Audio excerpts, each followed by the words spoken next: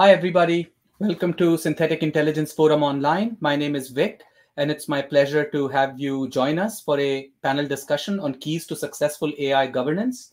Uh, before we go into this panel discussion, I want to make a couple of quick announcements for events we have coming up over the next two weeks. So, switching from the AI governance theme, we've had uh, three sessions now, including this one specifically on this topic of AI governance uh, in the previous uh, weeks. So we're going to be taking a bit of a switch and focusing a bit more on the industry side. And we're going to be looking into advanced analytics in banking. Uh, and we wanted to look at advanced analytics in banking because there's a lot of interest in financial services uh, industry and how artificial intelligence, data science, machine learning uh, technologies are, are being used to create and drive organizational value. Uh, but also because uh, this gives us sort of the advanced analytics piece gives us a slightly broader uh, view of the value chain. So we're going to have um, uh, thought leaders and subject matter experts and domain specialists from uh, leading banks in Canada. That's next week, same time. And then a week from then, we're going to continue that theme and going to have uh, additional perspectives from some of the same, but also some of the different banks uh, to come and talk to us about this important topic of AI and analytics in banking. So without further ado, though, we'll get started with our discussion for today.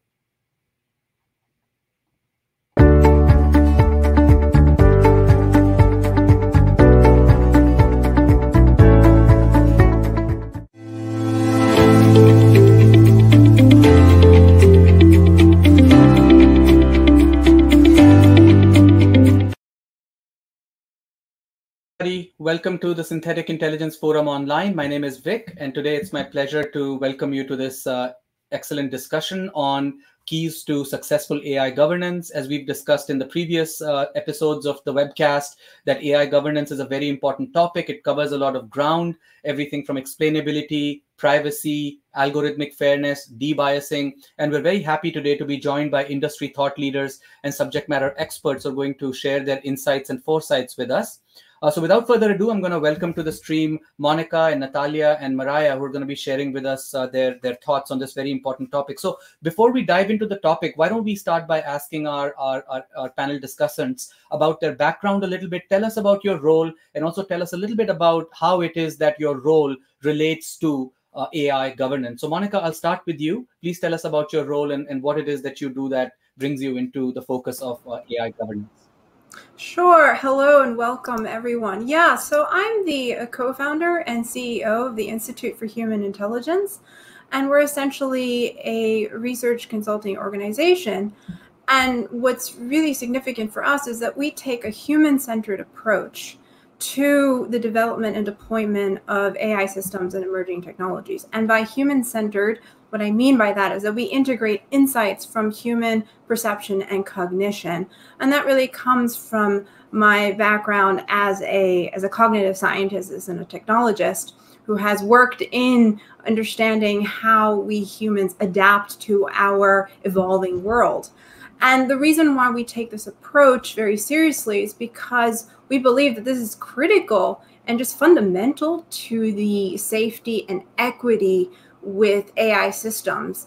And that is important because these technologies that we are creating, they're built by us humans for humans. So we're living in a human computer interactive world, not in a purely roboticized world. And that has been a problem in the thinking, especially from the engineering sciences, to, to not think about the, the full effects of how a technology can affect its its users and its and really a society at large.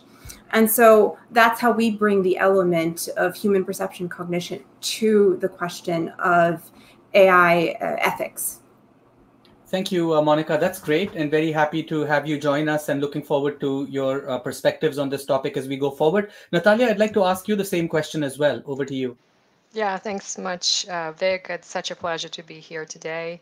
Um, I'm a research director at Omdia. Uh, we are also a research uh, firm, uh, part of a, a, uh, bigger international brand uh, located in, in London, UK called Informa.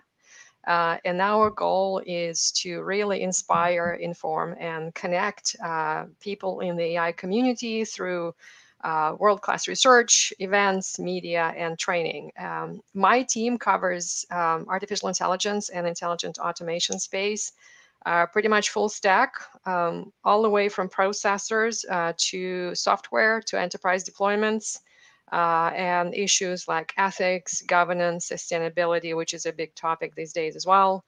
Um, uh, in terms of background, professional background, uh, before coming to Omdia, I uh, spent about a third of my career working with vendors, uh, helping them build and sell analytical products. Um, the other, the second third was uh, helping clients to implement uh, these solutions. And more recently, uh, I worked in advisory capacity, advising organizations around the world on topics related to uh, data analytics, AI, everything from strategy to use cases, execution, governance, ethics, best practices, emerging trends. How do you deal with vendors? How do you select the right products?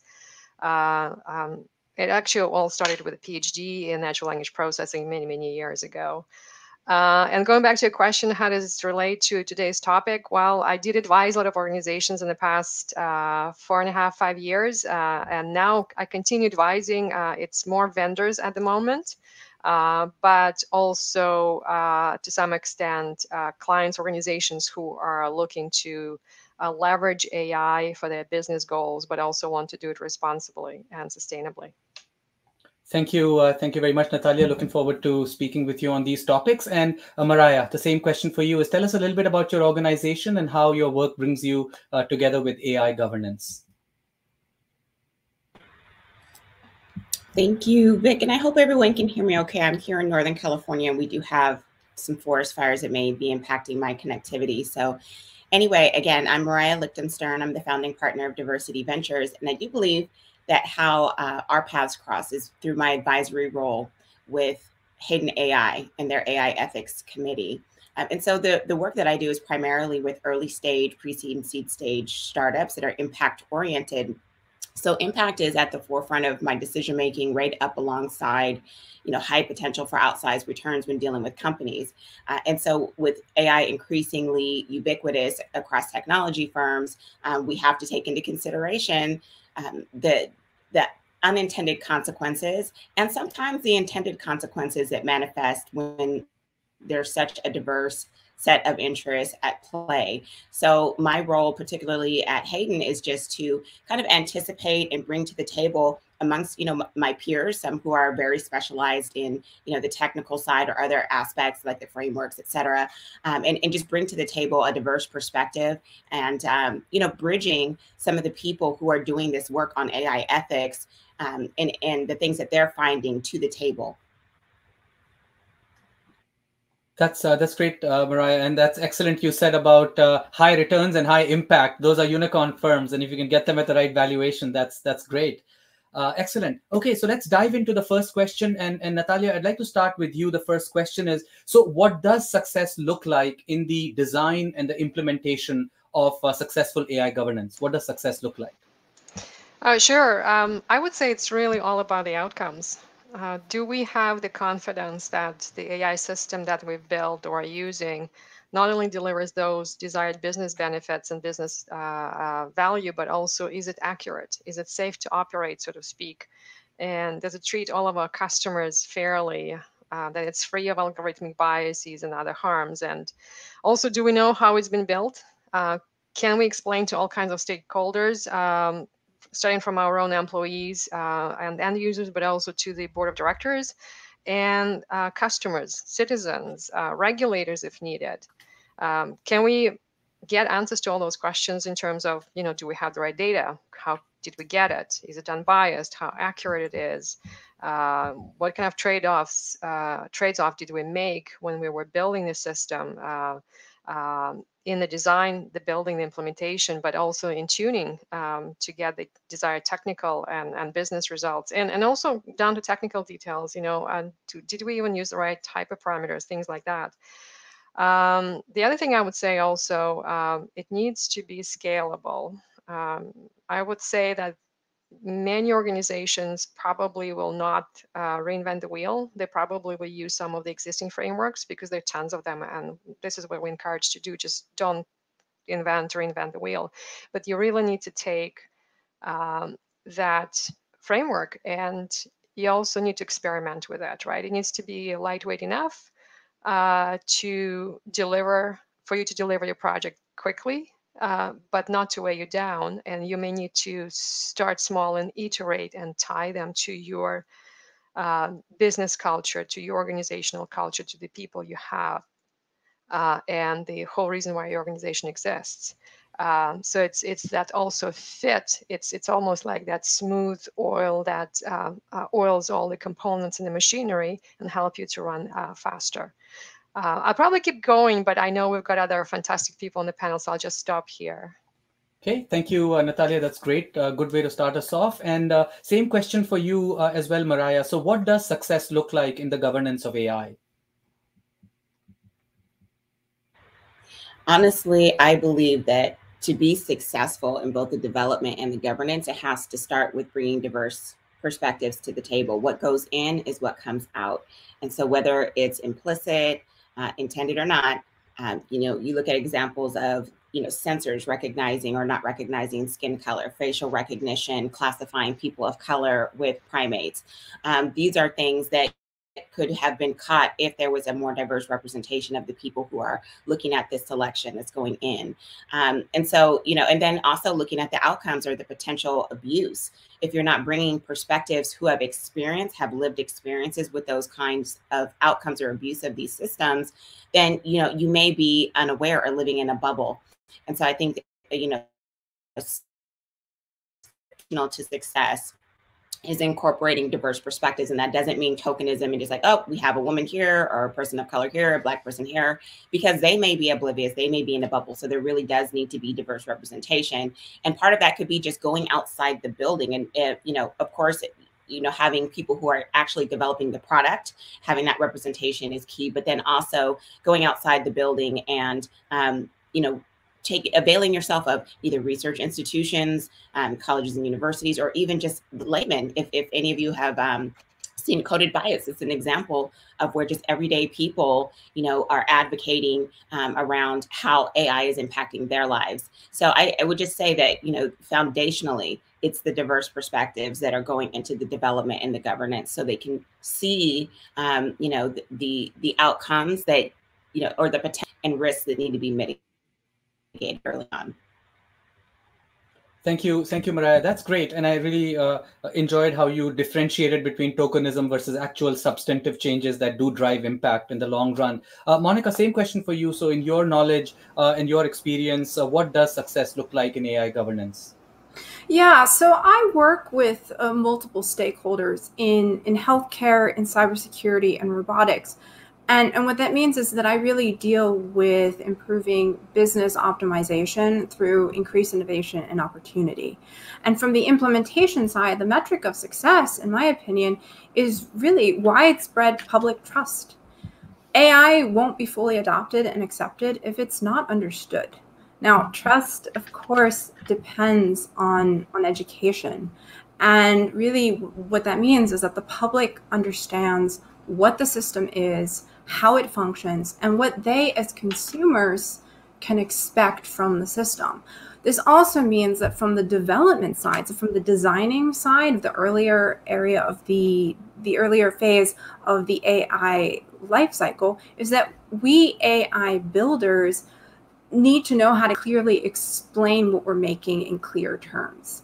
And this also includes interacting with consumers directly because they too should have a voice at the table when the development of the types of frameworks of regulation and principles we want to be ideating. Because and this goes really to the point that uh, was just mentioned about diversity at, at the table. Because we scientists and business executives we know what we want right from these systems that we're building and deploying. And so our criteria of what constitutes something at, at the system as fair and equitable is not necessarily the same as that from the user.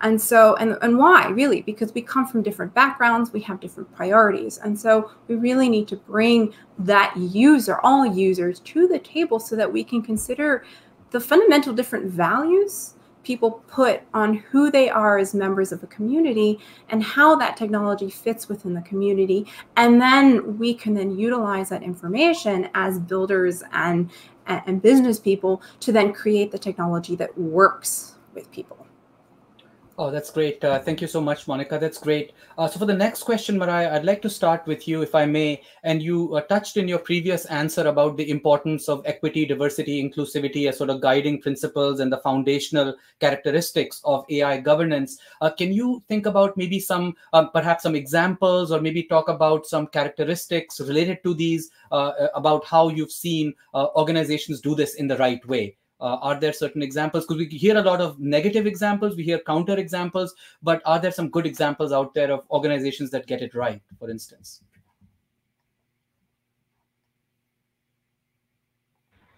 Well, something that immediately comes to mind is, I mean, there's good and bad examples. I, I gave a couple of like, you know, sensors or, uh, you know, recognizing skin color or facial recognition. There's also examples about like, say, for, with facial recognition, um, you know, how can it potentially be abused? Is it, you know, are algorithms set to um, be more punitive if, if, in the case of, say, law enforcement, um, you know, because of people have, uh, have certain complexion, right?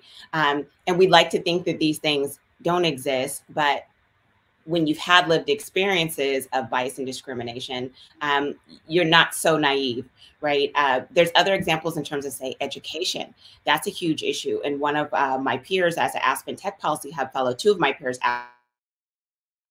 did a, a project called um, called uh, EdTech Equity that dealt with algorithmic bias in educational products and, and where that can go wrong. And they created a suite of recommendations on how educators can have more informed decision making in terms of the products that they're using and um, mitigating bias when it comes to um, their student body, right? Um, so those are a couple of examples. I have another peer who works in AI, um, also out of the Aspen Tech Policy Hub, who deals with uh, algorithmic bias in mortgages and so, you know, she put forth a, a suite of recommendations as well. And all of these can be seen at aspentechpolicyhub.org. Uh, so those are, you know, just examples of where it comes into play in real life, day to day issues. And so, you know, again, just uh,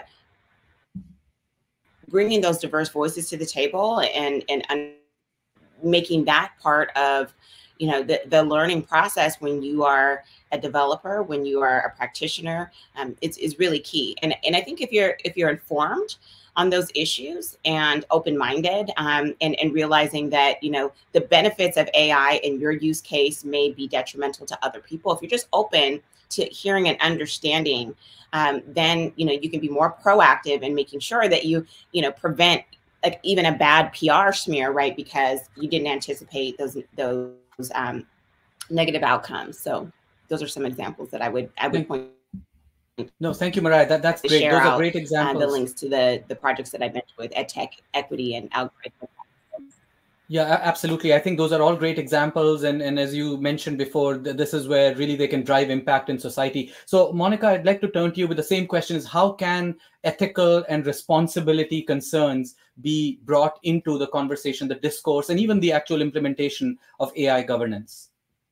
Well, to, to add off of uh, Mariah's point, I mean, even from the perspective of uh, the research organizations and at the research level, when it comes to proposing and looking for funding, one of the major calls coming out from the human computer interaction world, so all of us scientists who who who really believe in in this in this true seamless network between humans and machines, is that now you can't just propose and say, okay, we're going to make X system and it's going to have Y outcome. We actually need to list what are the potential problems, societal impacts that can occur. So we actually need to start predicting what they can be, and then not just providing predictions, but actual risk management uh, solutions.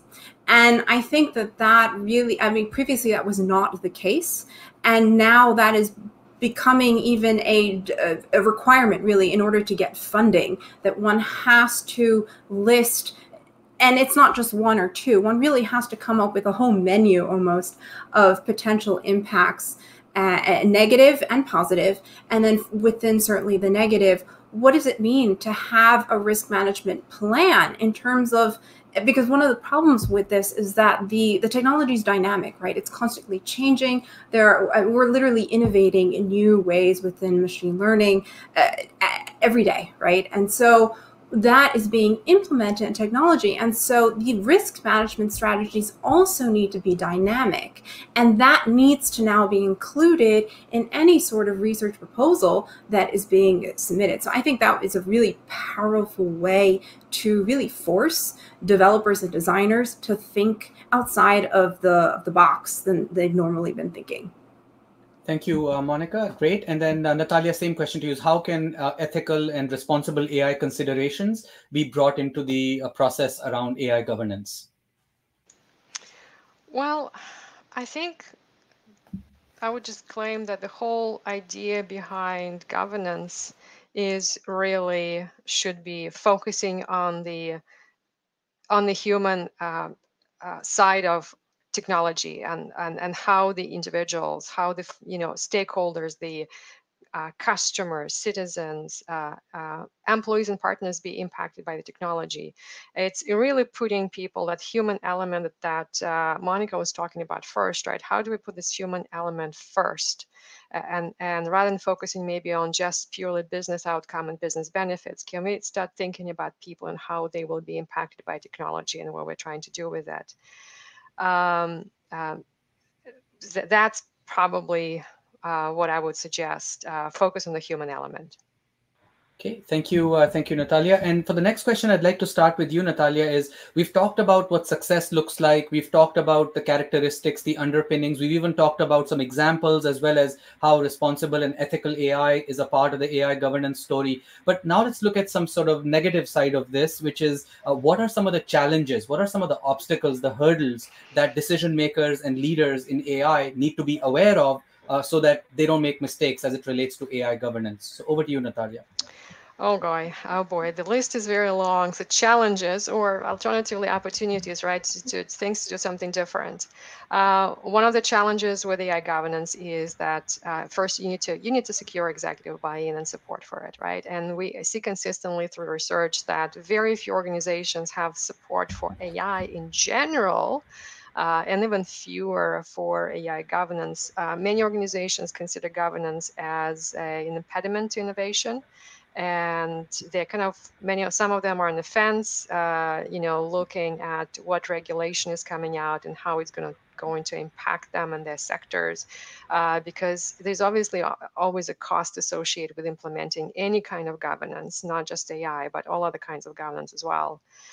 Uh, what other uh, things? Ai literacy uh, or lack of ai literacy of understanding what this new technology fundamentally is capable of uh, and how it impacts and actually how it can support uh, uh, employees, not just replace them uh, with machines, but support them uh, in their jobs, uh, kind of eliminate that fear of being made redundant. and also just understanding and like what it can do and, and what it, where it should or should not be used. And it's like, think of it that you know, every technology, especially complex technology that will operate a complex machinery, we don't just dive in and start using it because we can injure ourselves or people around us. Uh, sometimes we need protective equipment. Sometimes we need to understand how it works, you know, read the manual. Uh, the same I would apply, say apply to artificial intelligence, right? We kind of need to have a basic understanding of how it works and what it can do for us. Uh, and it's not like a car mechanic uh, it's the knowledge of uh, probably just how combustion engine works, which is what we all of us learned in school. Um, what else? Um, um, engaging, I would flip the question a bit if you don't mind, and sort of what the success would look like, or what do I need to do differently? Um, is um, some organizations just focus on governance as a technical component or just tie it to the uh, product development lifecycle. Uh, well, it really needs to engage the whole organization. It needs to be treated as a business framework for mitigating risks.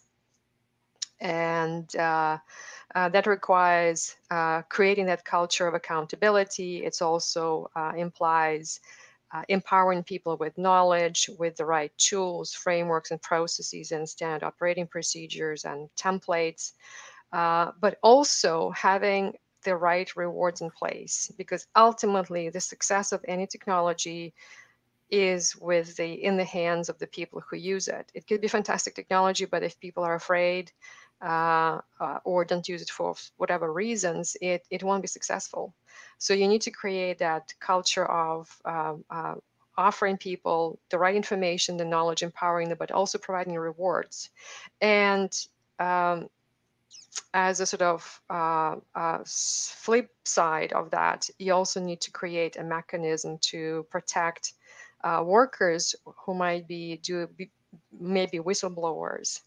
Uh, uh, you know, if they uh, call out, identify, and report ethical violations and harms in the system, they need to be protected, and you need to be able to also to act very quickly on on um, the information they provide. Um, um, the other thing I just want to repeat, and I think it was Mariah who was saying uh, uh, that that that diversity is fundamental uh, and engaging a wide range of stakeholders internally, externally as well. And one mistake we very often make, um, and not just because we all humans are uh, inherently biased, is that we think we know what other people do or what's best for them or how it's going to impact them. I would strongly encourage don't make any assumptions. Just go and talk to people, engage those end users, engage communities, and they engage your customers as you know beta testers or have workshops. Uh, which you can actually use for dual purpose. You can educate them about your system, but you also can get insights in how it may uh, sometimes adversely impact um, that community, that population. Uh, just don't make any assumption, ask questions. Okay, thank you, uh, Natalia. Lots of uh, great things to unpack there. Mariah, I'd like to uh, ask the same question to you. Is uh, we talked about the success factors, we talked about the characteristics of successful AI governance, but for leaders, uh, what are some common pitfalls? What are some common challenges, obstacles that they need to be aware of when they're designing and implementing AI governance? I think as Natalia mentioned, you know, just going out there and, and implementing something without planning for potential negative outcomes. So having some governance framework, having some safeguards, having um, you know a board in place that can bring those different perspectives that has representation from different communities that could be stakeholders in whatever you know the product or application is. Um, and and now you know it's really interesting that there are actually ai companies that are you know assisting with that governance process and employing ai to audit ai um, and so i think you know availing oneself of some research behind that and um, anticipating what can go wrong right the risk mitigation Thank you, uh, thank you, Mariah and Monica. Same question for you. In in you work with a lot of organizations. What are some common pitfalls, some frequently occurring hurdles that that your work uh, around AI governance uh, makes you familiar with? Uh, so I would second really what um, uh, Natalia has already mentioned, uh, but I guess I would just add two two other points. The first is that we've really come to a moment where legal certainty needs to be balanced with the ability for the technology to actually evolve and r&d innovation to, to, to move forward and what that means is that public and private partnerships really need to generally work in a synergistic way. Otherwise, what's happening is we're having a lot of aspirational guidance that's being provided, uh, but the impracticability of it is is something that's starting to shine through because now it's becoming very burdensome, even for especially for very small uh, technology companies to to deal with the excessive costs and the strain of excessive processes that can actually lead to confusion instead of actual clear results. And there's also the problem I want to add here to the the of false confidence from our methods of explainability and transparency, for example. And the reason why that is a problem is because it's born out of unclear definitions from the technical standpoint of what explainability and transparency really means. So you can have uh, the, the legal framework that says, okay, you must, as a company, show that your you can explain your system and you can exactly say how the algorithm makes uh, decisions. But that, from a technical standpoint, from a scientific standpoint, actually is not clearly delineated. I would also add, so as the second uh, point, is that I think there's just a real problem right now overall where we have how the media portrays the capabilities and the needs and requirements for AI systems with what the science actually is what industry wants to create, of course, for business opportunities, and with what society at large wants and is, is really still trying to figure out what's going on. And then at the same time, we have the public sector who sees now its role, its burgeoning role, and some people would argue it belatedly, uh, as a guide or a mediator of, of sorts. And so buy-in, and this goes back to the diversity issue that has already been uh, brought up. So buy-in really needs from all stakeholders. We really need to consider all of these perspectives. But I think fundamentally, at the same time, we need to come up with a more unified cohesive pathway together in order to move forward. Otherwise, we're going to have different companies, different organizations saying one thing about what transparency and explainability or anti bias is versus another. And that is just going to create, I think, even more chaos in terms of what consumers can expect and, and what they really want at the end of the day. Thank you, uh, thank you, Monica. That's great. And I, I now know that uh, I think all three of the panelists talked about the importance of a framework as a central organizing principle through which analysis, design uh, can be brought forward to really look at uh, the pros and cons, evaluate the trade-offs, do a pretty comprehensive uh, assessment. So, Monica, I'd like to keep the next question start with you. Is uh, there are a lot of frameworks out there? I mean, there's websites, there's other. If you search on the search engines, uh, there's lots of frameworks out there around AI governance. Uh, which one or two have you found to be the most uh, useful, and why? And if you don't want to talk about perhaps a specific framework, what are some attributes that in a framework you think would make it good in, in your professional opinion? Well, indeed, it is actually quite uh, overwhelming. In fact, I did as an exercise just to Google uh, framework uh, in you know the keyword search uh, AI governance frameworks, and my gosh, do do multiple come up. However, I think really just as uh, to sort of whittle it down to a key point is that I think we're there are several. There are basically two main approaches that have been taken. There are approaches that have been following more of a nationalistic priority. So, just to give an example, we have uh, China actually came out with their big next generation AI development plan in 2017. And it, it's quite comprehensive in terms of really entering into world dominance of AI and really having a hegemonic dominance. But what I find interesting about it is that it really talks about upskilling the, their population. It really talks about we can't just invest in the funding and in the AI in AI R and D, but we really need to have our population eh, capable of understanding what this is and being able to work with it. So having deep knowledge, I think that's a very interesting way to to, to, to think about how an approach. Another approach is the kind that is informed more from seeking out a, a network of experts that come from different fields, whether it's academia, industry, or government, to form a steering committee. And those steering committees then come together. And just as an example, again, at the bigger uh, at the bigger level, we have the uh, European Commission came out with their steering committee. It was the uh, high level expert group on AI in 2018, in which they brought people together to literally come up with the ethics guidelines for trustworthy AI. So that is an interesting approach because that really says we need to consider the, the rights of citizens. We need to keep as the, the fundamental goal human rights and democratic values. So let's come up with a checklist, basically, of what constitutes as trustworthy AI. Now, at the smaller level, so not looking at it from the uh, the geopolitical level, but at the smaller level in terms of organizations and companies, what I'm seeing to be very interesting and actually quite effective, it's is now that there's more of a proactive approach on the on the side of of a company to really think about potential impact and risks of the technology they are using, whether they acquire it from, from others or the technology that they are developing. And that also has been more like a steering committee type of procedure in which they bring in multiple experts to come in and talk about these issues.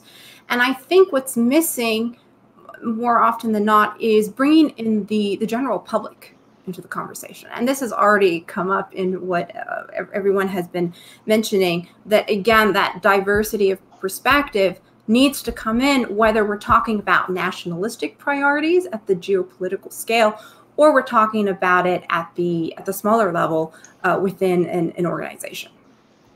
Thank you, uh, Monica. And I'd like to ask the same question uh, to Natalia.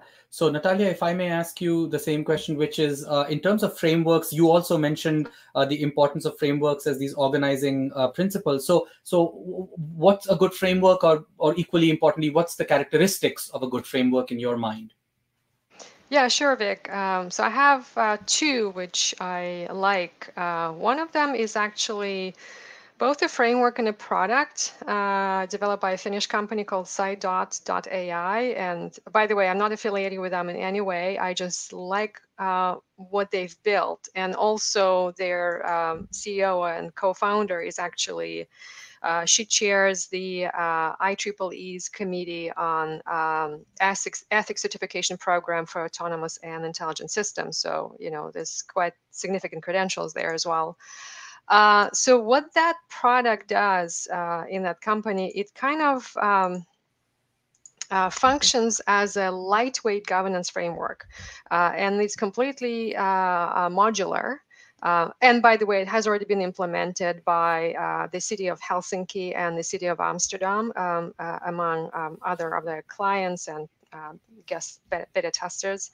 Uh, but it built, it's built on the concept of this uh, idea of public register and what kind of information do you need provide and at what level of granularity to help people understand what the system is doing how it was built uh, you know what kind of decisions have we made when we were building it but also who to contact if you have any questions as a citizen and for example, in, in how the city of Helsinki or the city of Amsterdam is using AI in their applications, who do you contact to provide your feedback? uh, or get more, maybe more technical information if you're so inclined. Um, and again, by answering those questions to be able to provide information to the citizens, you kind of forced yourself internally to think through uh, uh, some of the elements of governance which, which we talked about. And um, it also helps you to document some of the key assumptions, key decisions, and so forth. Uh, so that's one. Uh, the other one I like is actually the one that Taka Ariga mentioned a few weeks ago from the US Government Accountability Office. Uh, I did take a look at that. I was very curious what they come up with. And that's the AI accountability framework for federal agencies and other entities, so hopefully not just for government. It's, it's fairly simple. Uh, it's very easy to understand what it's asking for. And what I also like about it is uh, three things. One of them is that it lists questions you should be asking uh, of your system and your development team, but also it tells you what audit procedures should be in place and what evidence should you be providing in case you need to do that for like regulators, for example. Um, it um, lists key governance uh, practices like best practices and emerging practices at the level of organization, but also system level. And finally, it draws, it's, it's really a summary um, and synthesis of um, all of the existing research that uh, uh, Monica just mentioned, that whole body of research, what they've done, they took it in and digested it and kind of simplified and summarized it. Uh, and it has multiple references, multiple examples. So if kind of curious where it came from, you can actually go and take a look at that. So again, those two. Okay, thank you. So that's uh, that's great, Natalia. And uh, so for the next question, Monica, I'd like to come to you first, which is that the we know that the field of AI is changing rapidly, and I know uh, panelists discussed today just how quickly information is coming out, and some of it is relevant, some of it is not so relevant. So how do you make sure that your knowledge about AI governance is current and stays up to date?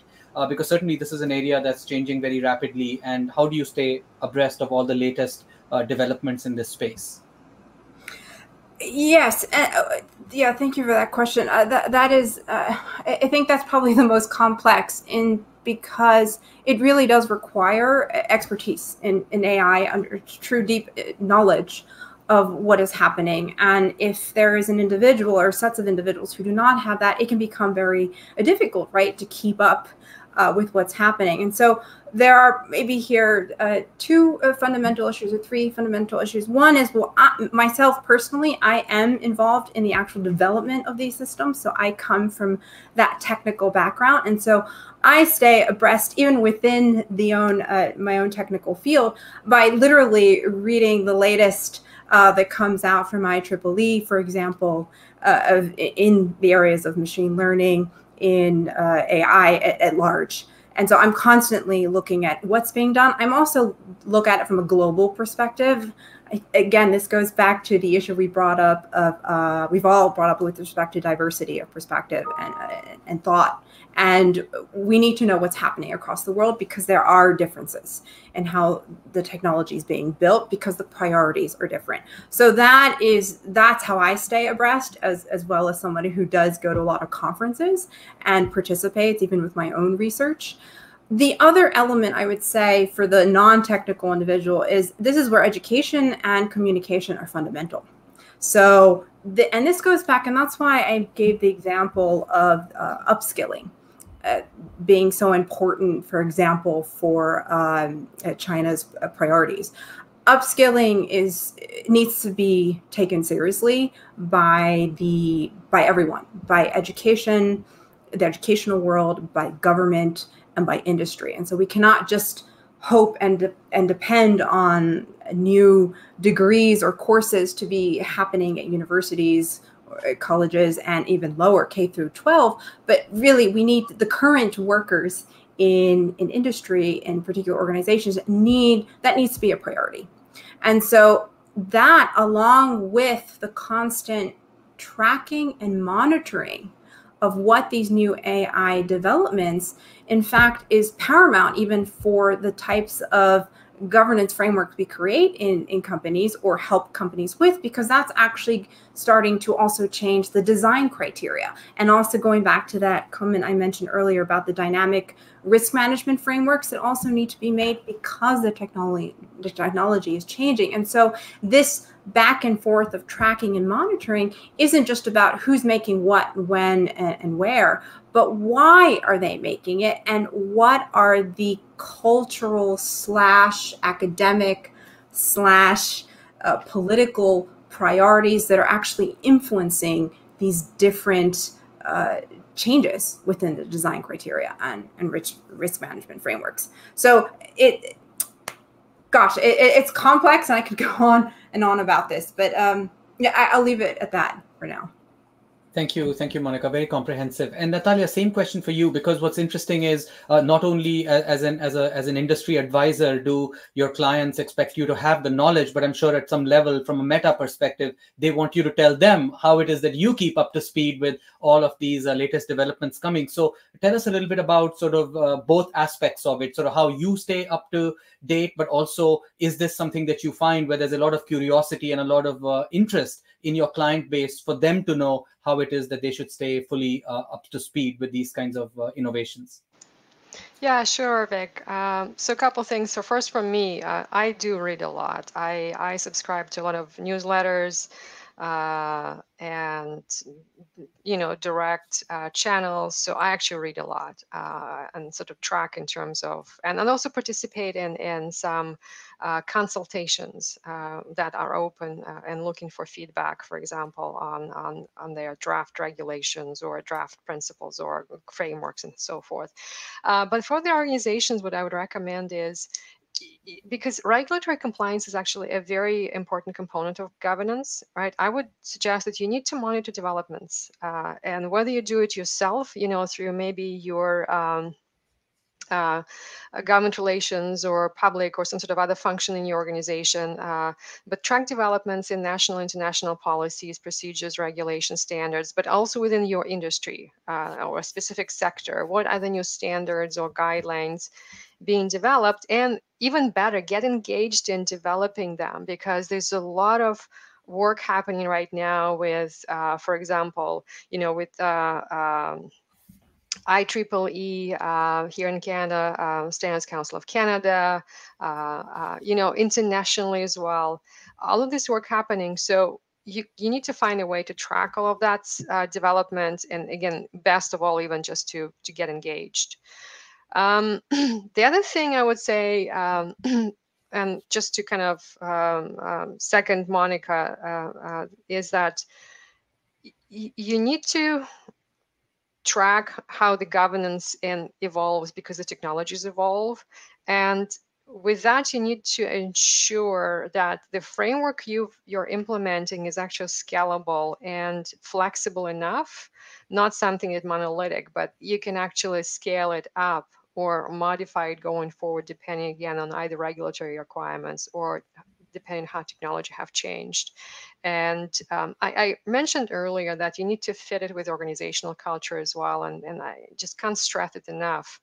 Um, just maybe because we're over lunch, you know, uh, um, I'm going to draw an analogy to lasagna. It's pretty much the same recipe for lasagna. Doesn't matter who you ask, but every Italian family have their own family recipe, right? Uh, so it's slightly different. And this is like, I'm not saying that governance, yeah, governance is, is lasagna, but it's it's the, the idea is the same, right? You need to take it and tune it to fit it in and continue developing, continue modifying as as as things change on the market. Thank you. So I think that's a that's a great uh, great answer there.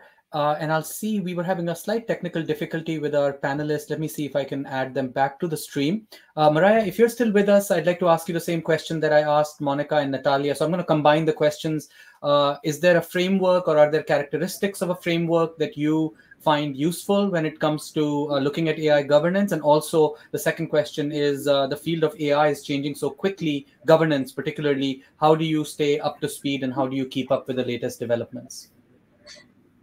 Well, first of all, Vik, thank you for bringing me back in and your your patience with the technical challenges. I was just uh, heartbroken. I was listening to Monica talk about the he- hegemonic, uh, you know, element and the upskilling, and um, just really want to underscore how important that is in terms of you know frameworks and what I see as the the future of you know better practices of AI governance. There is a company that my friend Kamal at Loyal VC out of Canada uh, turned me on to, and I'm really excited about the work that they're doing. It's called Fairly.ai and what they do is they help to standardize um, the testing, the management of uh, inventory. Some, you know, when you look at banks, they, they may have thousands of different AI models.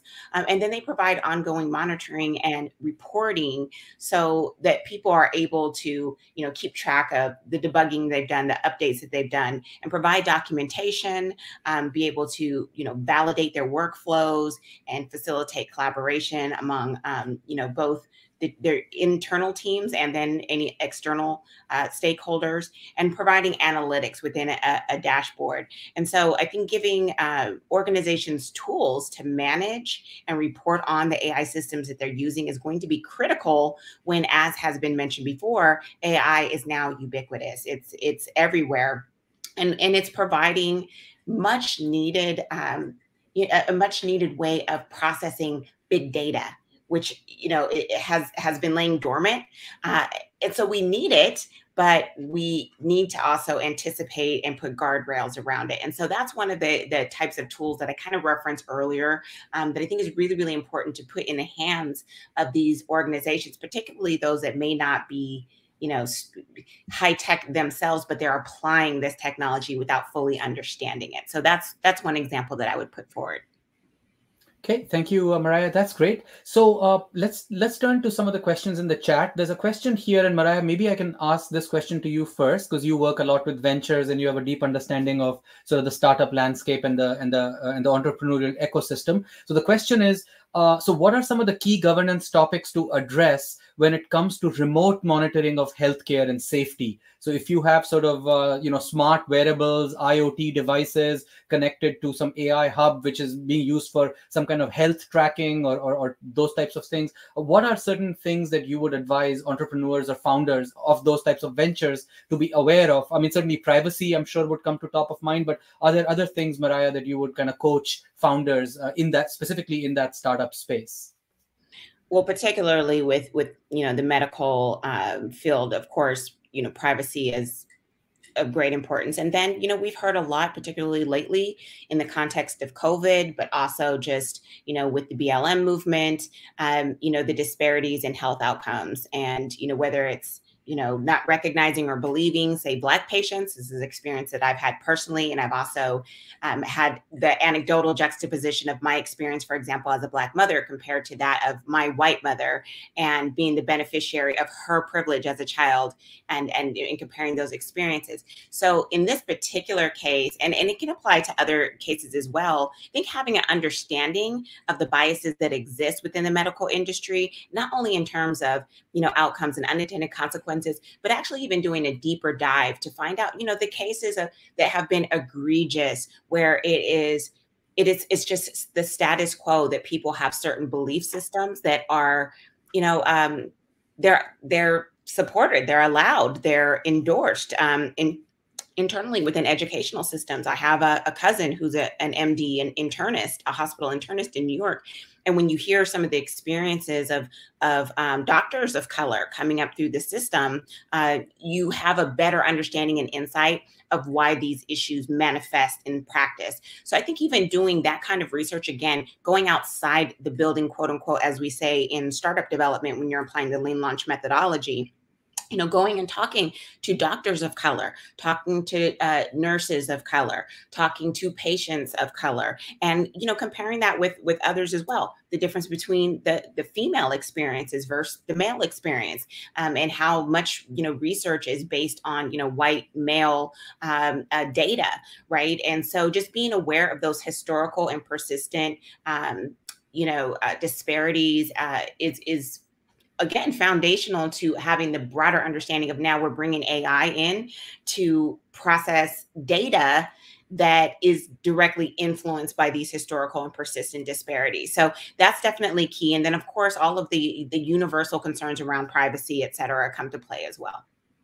Thank you, Mariah. That, that's great. And, you know, if I may uh, also just add to something you said is I, I completely agree. You, you said something, a lot of very profound things. I've advised startups for a long time myself. And one of the things is, you know, I think it's conventional wisdom for all entrepreneurs to say, hey, look, uh, it's not technology out, it's customer in. So everybody starts, all entrepreneurs start by saying, look, we really focus on our customers. We know exactly what they want. We know what their pain points are. We know how they make decisions. We know what their budget is.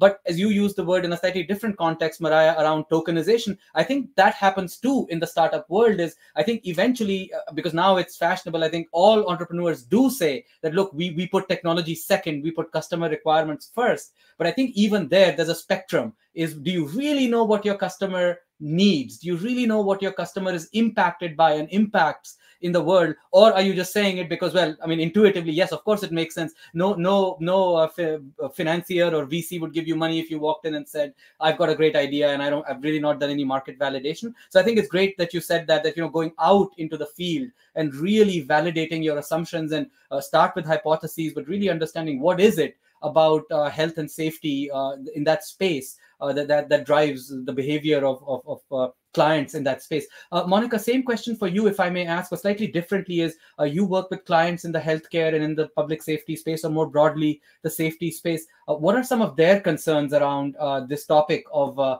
of, of AI governance? Yeah, I actually really bring in the. I mean, I second Mariah's comments. Absolutely, everything, and, and Vik, what everything else you just mentioned.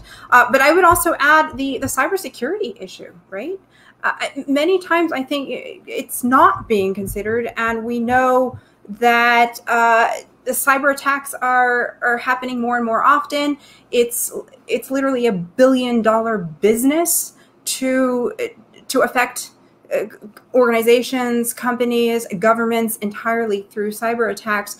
And I think what people forget, and and this is not so much from the technologist standpoint, but from those who are not in the technology world, is that there's just such a sheer quantity and diversity of devices that come from different manufacturers, different that have different device iterations, and and that have different embedded security uh, properties. And so until security is by default and by design, every device developed is going to have at least an entry point. There's going to, with the least security, is going to have an entry point into the infrastructure. And so, really, uh, what I'm saying here is that one needs to take a zero trust approach to the security problem because we need to know what is in all of these edge nodes and these edge devices and in the cloud for which these technologies are, are, are using. If we don't have a sound understanding of, of that, then you can have the most amazing technology available out there you can have actually all of your clear understanding. You went out into the field and you figured out you know okay this is who my customer is this is who my uh, this is who my customer is not these are the priorities of that particular customer and all of that can fall apart with a security breach and so I have actually been recently focusing a lot. This has been a, a priority I've been really pushing that there needs to be a, a robust security framework to add on to the privacy issue as well, obviously, because privacy and security are uh, tethered together. I'm applauding off camera here, by the way, to that point. Great, thank you, uh, thank you, Mariah, thank you, Monica, and Natalia. Same question for you. Is you have a lot of clients in the in the healthcare space, or I'm sure in the regulated industries. So, what are some of the topics that they're raising for you, Natalia, in terms of uh, concerns that they have or, or aspirations that they have? Um, I, I'm Mariah and Monica covered a lot of the aspects actually, but I do want to support uh, what Monica was saying with adversarial attacks. Uh, they're already happening. Uh, we actually see a lot of clients asking, you know, how do the the big ones how do the you know hyperscalers the, the the you know the largest providers and users of ai technologies how do they actually secure and safeguard their own uh, models, their own data sets, and, and also, uh, you know, the platform, the capability that they expose and sell to their customers, you know, uh, what do they do internally and do they use the same protocols, procedures, uh, tools uh, as they provide through their platforms? Because it's happening. We, we don't see much of it in the news because uh, some of it is just doesn't see the light of day because of the sensitivity of the issue, but it is happening. Uh, and you need to make sure that uh, your vendor, if you're working with vendors or if you're building yourself, that you have that in place. Um, uh, and by the way, it's like with security breaches, uh, the same for with adversarial attacks against AI. You, you, should assume that it's already, it will happen. The question is not whether, the question is when and how prepared and ready are you for that. Uh, the other thing I want to go back is actually less a recommendation, but maybe uh, if I may make a suggestion for a book, because uh, Mariah mentioned this topic of uh, a lot of applications, a lot of uh, tools, a lot of products in the world that build for men by men. So I have a book which I highly recommend. It should be a quiet reading for everybody. It's called Invisible Women, by Caroline Criado Perez. Uh, it's full of examples from all facets of lives on how things are built for man by man, not intentionally. It, this is just how things happened. And I think the chapter two starts ask a question, you know, can snow plowing uh, be sexist? And I was like, well, it doesn't make any sense. But there's a whole chapter on it. And if you read about, again, it's an eye-opening book and it should be a recommended uh, uh, a mandatory reading for everybody engaged in analytics and AI and building the systems. Thank you, Natalia. That was uh, very helpful as well. And, you know, this was a great conversation. We're at the top of the hour. Uh, there's so much more to talk about. So, on that, I'd like to thank the panelists and uh, would love to have you back in a couple of months so we can continue this conversation and bring in some additional insights and foresight. But thanks again on behalf of the Synthetic Intelligence Forum for making time in your day to join us. And uh, we'll see you again very soon. Thank you. Bye for now. Thanks. Take care, everyone. Thank you. Pleasure. Stay safe.